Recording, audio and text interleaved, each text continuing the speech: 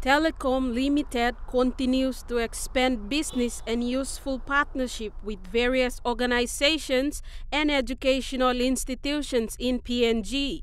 The MOU forges a partnership where Port Moresby Technical College will develop a new curriculum that will cater to Telikom staff who wish to pursue further technical education on their trades.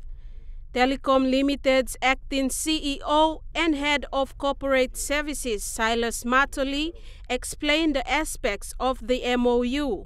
We, we expect to receive more training and upskilling for all our workforce. So it's going to be, a, we'll start in January, February to put some, and we'll also, those who will be working full time, we'd like to get their, modules or uh, training run over the weekend so that we increase the number of uh, training as well. So it's, it's, a, it's a new, uh, uh, completely uh, new, fresh start, a new relationship that we are forming now. The MOU also allows for Telikom to set up a shop within the school's premises and a Wi-Fi system as well. We also committed to put one retail shop here. So our team are now currently working to move one uh, kiosk here. So in that, uh, our team will be selling phones and uh, also issuing SIMs here.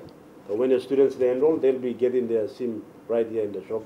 Uh, when you guys want to do additional services for your inquiries for your homes, uh, if there's any SIM card issues or selling of right cards, or if you want to send up a SMS blast to Segula, you don't need to come to our office. We will have a team serving you right here in the, in the, in the campus. So POMTECH Deputy Principal Academic Jake Mitian stated that currently having 2,000 students, POMTECH is thrilled with this partnership and is underway with its negotiations with Unitech to develop the new curriculum for this partnership. So this uh, partnership is a milestone for POMTECH. We have seen some MOU being signed within some organizations already.